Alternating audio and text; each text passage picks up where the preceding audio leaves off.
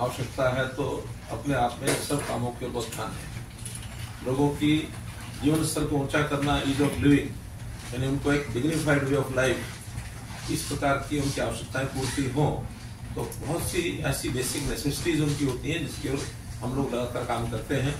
जैसा कहा जाता है कि रोटी, कपड़ा और मकान, शिक्षा, स्वास्थ्य और सम्मान, कुछ चीज़ें तो बहुत उसकी आवश्यक होती हैं। उसमें मकान की जो आवश्यकता है, प्रधानमंत्री जी ने एक बहुत लंबे विजन के साथ एक स्लोगन दिया हाउसिंग फॉर ऑल तो हाउसिंग फॉर ऑल में हर प्लानिंग में नए मकान ऐसे अफोर्डेबल लेवल के गरीबों को ऐसे उपलब्ध कराए जाए।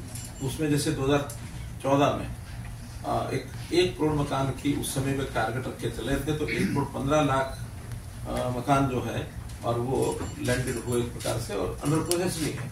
अभी उसमें भी है कि शेष काम बचा है, लेकिन बहुत जल्दी पूरा होगा।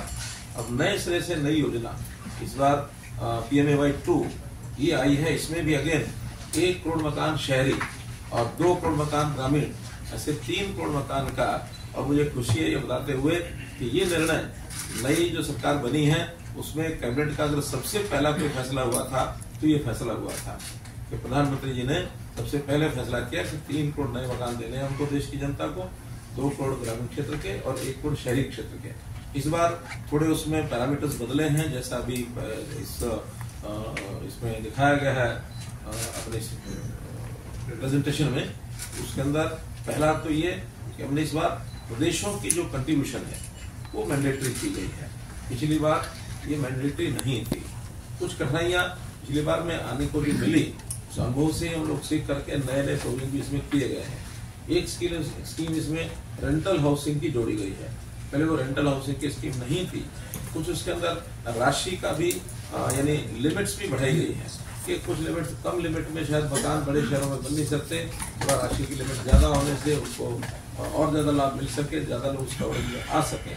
तो इस प्रकार का ये सारा जो किया है, ताकि हर परिवार को और ये जो मकान देने की जो बात है इसको हम आगे बढ़ा अभी जैसे ये पखवाड़ा चल रहा है स्वच्छता ही सेवा 2024 तो स्वच्छता ही सेवा 2024 में हम लोगों ने देखा है कि हमने 17 सितंबर से इस स्वच्छता ही सेवा, सेवा को प्रोजेक्ट को लॉन्च किया था। स्वयं उपराष्ट्रपति जी और मैं स्वयं हम लोग गए थे राजस्थान में। से? झुंझुनू। राजस्थान में। झुंझुनू से हमने उसको लॉन्च किया था। और उसमें बहुत सी विशेषताएँ हैं। प्रधानमंत्री जी अभी दो अक्टूबर को विधिवत रूप से उसके बारे में आप लोगों को बताएँगे कि कितना काम उसमें हुआ है। मैं एक विशेष जो इस बार फीचर हमने इसमें डाली थी कि इस बार क्लीनलीनेस टारगेट यूनिट्स यानी स्वच्छता के जो स्वच्छता के लक्षित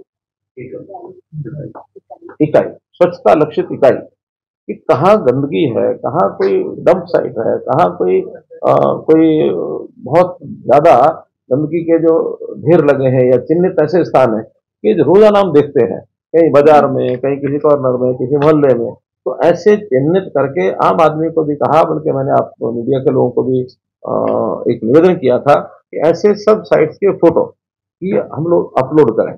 और अपलोड करें तो इन पंद्रह दिनों में उसके सफ़ाई अभियान का एक कंपेन चला है और कंपेन में जितने साफ़ हो जाते हैं तो अच्छी बात है, जो बड़े ढेर हैं, बड़े ऐसे सफ़ाई के जो चिन्हित स्थान हैं, उनको अगर दो अक्टूबर के बाद भी चालू रखना पड़ेगा तो चालू रखेंगे, लेकिन एक बार वो चिन्हित हो गया तो उसको लगातार रिव्यू करके उस स्थान को साफ़ करना है।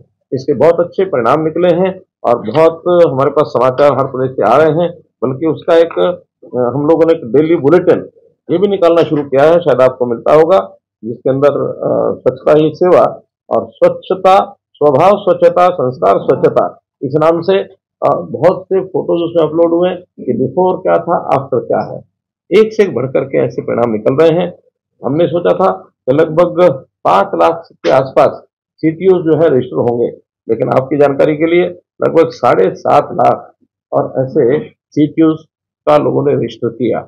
और उसमें खुशी की बात यह है कि अभी वो टारगेट तो उसका दो अक्टूबर तक का है। लेकिन कुछ प्रोजेक्ट जैसे मैंने बताया कि लंबे समय तक भी चलेंगे, अब उसको रिव्यू करते रहेंगे। कुछ पंद्रह दिन में आगे नवरात्रे समाप्त हो रहे हैं, फिर दीपावली आ रही है, उस समय तक टारगेट रखेंगे। जो लंबे बड़े बड़े ढेर हैं गंदगी के, जैसा हम देखते हैं दिल्ली के अंदर ही, जब हम करनाल में जाते हैं तो वहाँ कितना बड़ा ढेर है। अब वो कोई दिनों का विषय नहीं है, वो महीने और सालों का विषय है।